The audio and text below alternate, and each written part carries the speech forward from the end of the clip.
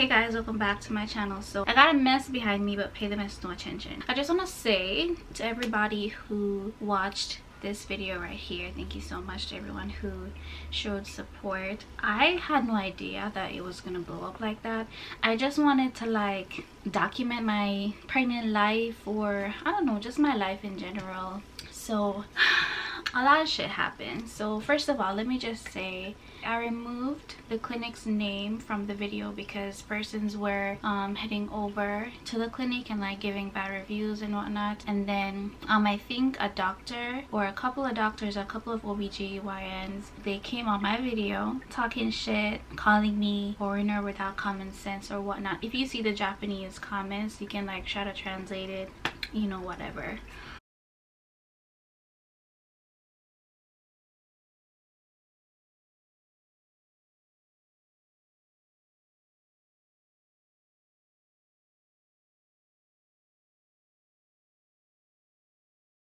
yeah i never said anything bad about them. I only spoke about my experience and what happened.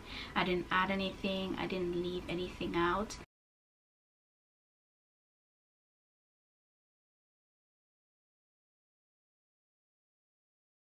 so yeah that's that. Fuck that clinic. They can kiss my ass. And it's just amazing to know that how would i say half japanese persons commented and a couple of them messaged me and then they let me know like how life has been for them here um, being half black half japanese how hard it has been for them and the fact that they are working on moving out of japan which is crazy.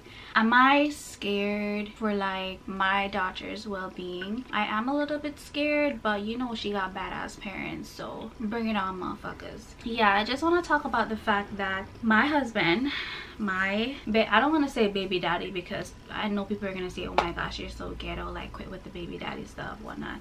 But yeah my baby's father my husband my man my dude my nigga my asian butterfly he won't be able to be in the delivery room with me and it's like it's a really big downer for me. He wanted to try to find like other places where i could give birth you know where he could probably be accepted but the chance of finding one is pretty hard because of the whole corona thing the whole covid thing whatever. If you're wondering why it's because of the whole covid situation.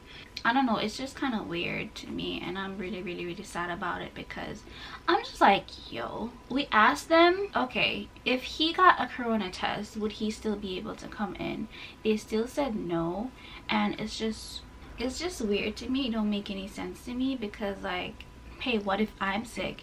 Like i know for a fact that yo if i have covid and i push my baby out i won't be able to hold her much less see well yeah we'll be able to see her but if i'm sick i won't be able to hold her. And the thing is i am more scared about the doctors and nurses there because they are the ones who are like around sick people all day every day.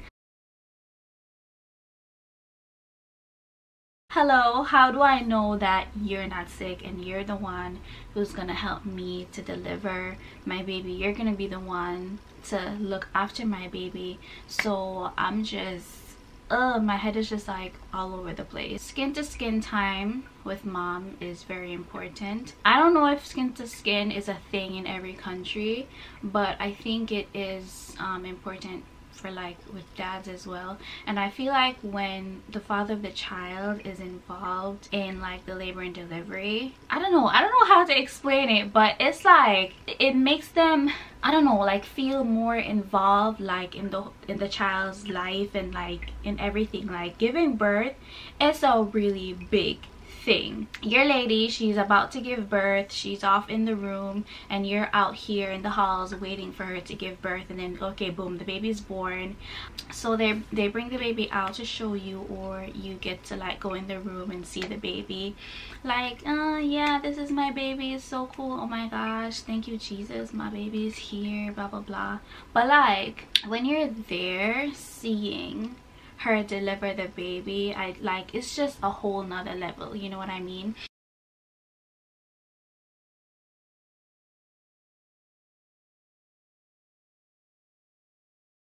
but it's not for everybody. It's not for every guy because um, this girl on my snapchat she told me like her sister was giving birth and like the baby's father was there and he saw the whole process. And homeboy he didn't want to smash after that because of like he was just traumatized pretty much. That's what she was saying. And like she was saying it's probably the best that my husband don't see the whole process because he might be traumatized by the whole situation by seeing everything.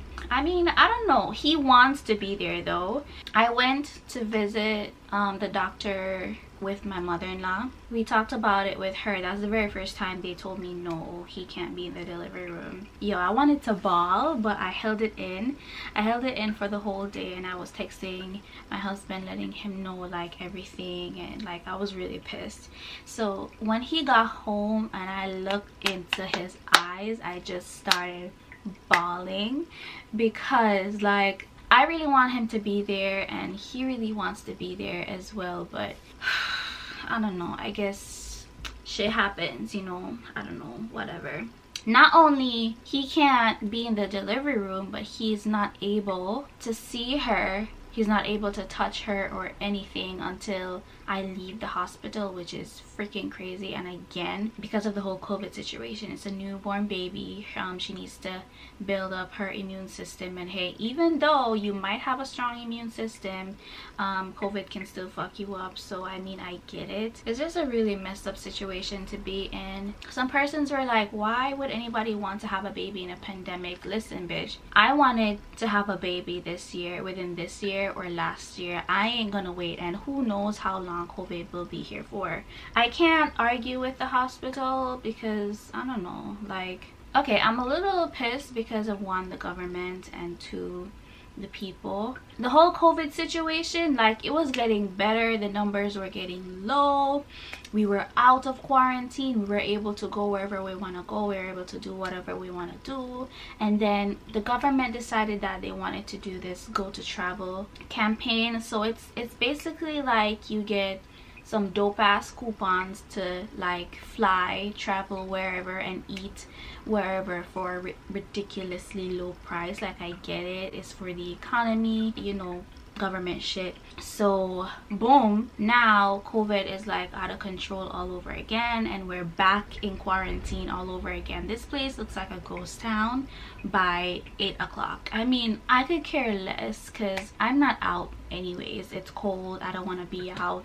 But i'm pissed but what can i do? There are people out there who just don't care about this whole corona thing at all. There are people who are still partying. A majority of people don't want to wear their mask. Like there's nothing more that we can do or say. Like if people don't care about covid they just don't care and they will never care i feel like there's nothing that we can do to make people care yeah that's just a little update that i have for you guys I can't wait to meet her. Um, I have less than 20 days to give birth. I am really nervous, really anxious to meet her. I just, uh, I don't know. I, I feel it for my husband more than myself because like he won't be able to see the delivery. He won't be able to see her until days after. The first moment of her life he won't be able to experience. I forgot to mention that there is this article online that you guys can read about the whole situation.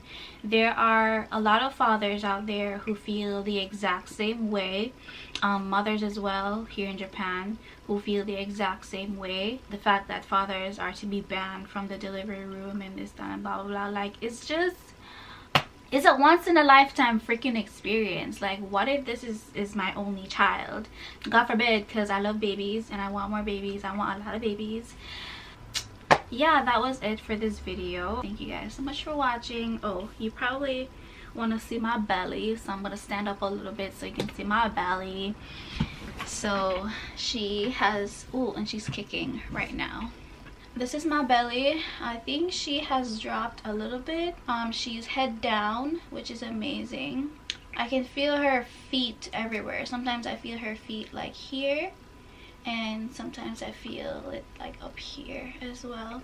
So again, yes, that was it for this video. Thank you guys so much for watching and I'll see you in the next one. I'm sad AF, but I'm just trying to put on a smile for y'all because we gotta we gotta stay happy and jolly up in this bitch. I mean Christmas Christmas is already gone, but you know we gotta stay jolly, you know. Bye.